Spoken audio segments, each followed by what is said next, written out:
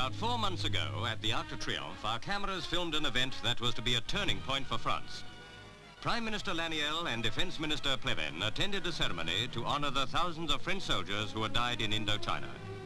Then the crowds, led by war veterans, began to demonstrate against the government's handling of the Indochina campaign. It was the beginning of the end for Laniel.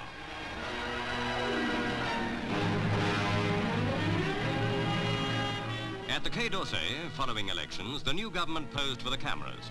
A government formed of many parties led by Mr. Mendes France, here with President Coty.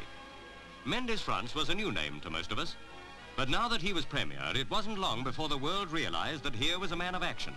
A man who made bold decisions and kept to them. The small, modest car, which he drove himself, symbolized one aspect of the small, modest man. He was a premier without pretensions. It was in the National Assembly that he made his boldest move. He pledged that he would bring about the end of the Indochina War within a month by July the 20th or resign. The man chosen by France as her 20th Prime Minister since the war had courage. Within minutes of making his pledge, the Premier met America's Mr. Bedell Smith and told him of his target. Mr. Eden, too, was told the Premier's plans. Pierre Mendes France, during the war, fought in the resistance movement and later in the Free French Air Force. His biggest tussle was to come with Mr. Molotov at Geneva, and he had to succeed before July the 20th. Meanwhile, he met Mr. Dulles in Paris to calm America's fears that France, in her eagerness for peace, might give way to the Reds too easily. Later, with Mr. Eden, but without Mr. Dulles, the Premier left for Geneva. July the 20th was not far off. In Paris, they followed the progress of the talks.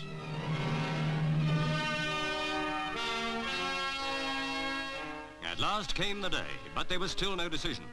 In Geneva, two meetings were held. Peace hung in the balance.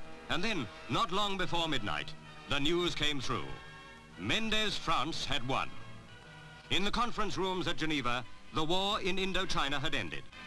With Chou En-lai, the Chinese Communist Premier, Mendes France had agreed the terms of armistice.